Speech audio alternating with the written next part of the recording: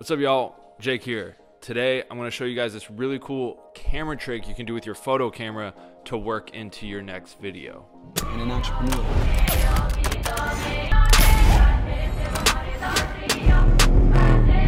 So I've done this trick in the past on some music videos, um, you know, from a Kyle music video, futuristic music video, and some other videos.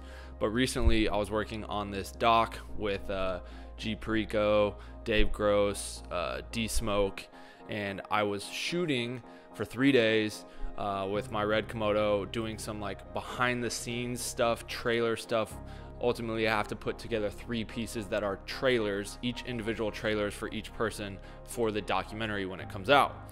One of the things I was doing was this trick on set that I posted a little snippet to my Instagram and the comments went crazy on how did you do that trick? Oh, you know, wow, free game, this is so sick, definitely gonna do this. And so I just wanted to break it a little bit further down. Super simple, super, super simple.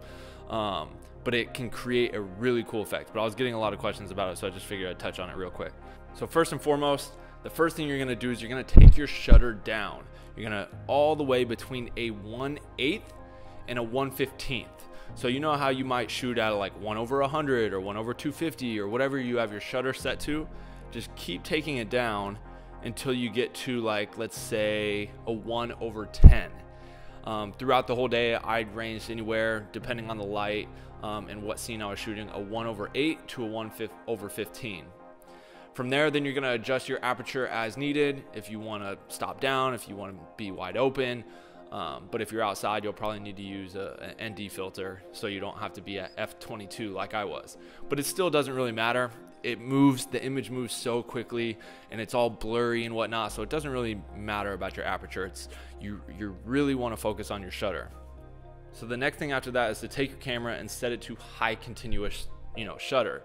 Uh, you can do it with a single shot, shot, shot, but it's just easier if you set your camera to like a high continuous frame rate and you're just able to pop, pop, pop, pop, pop, pop, pop as you move. And that's basically what you do. Once you set your shutter and you got your continuous, you know, frame rate on, all you do is sit there and you just start taking the photos and then you just move and it'll create this like really blurry warped effect and you're just basically almost doing like kind of the stop motion um, low shutter blurry effect and so you'll see it I'll, I'll, I'll play a quick little snippet of some of these edits that I'm working on and you can see the effect and how how cool it is and how cool it looks and how you could use these for transitions but these are all photos it is not video and there is a difference when you're shooting photos, you are capturing a single image at that blurred uh, shutter speed, right? You're taking photo, photo, photo. I had some people comment like, "Oh, you can do the same thing with video." Sort of. It's not the same. Regardless, if you drop your shutter on a red camera low to let's say a one over ten, you know, one and eight frames a second, you're still shooting 24 frames a second. You're still shooting video. So, yes, you're getting a blurry shutter look, but it's still video. It has more of a continuous feel. Whereas the photos has this blurry stop motion like effect. So, what you do in post, I just drag all the photos into post, um, into my edit timeline. I just put them all in a row, I nest them, and then I just Command J speed. Uh, I increase the speed by whatever percentage I want it to be. If I want them to move really fast, if I want them to move slower. But usually I have them move really fast, so it's just like this. Like it just feels like this fluid, fast motion. You don't really want it, in my opinion, to just photo, photo, photo, photo.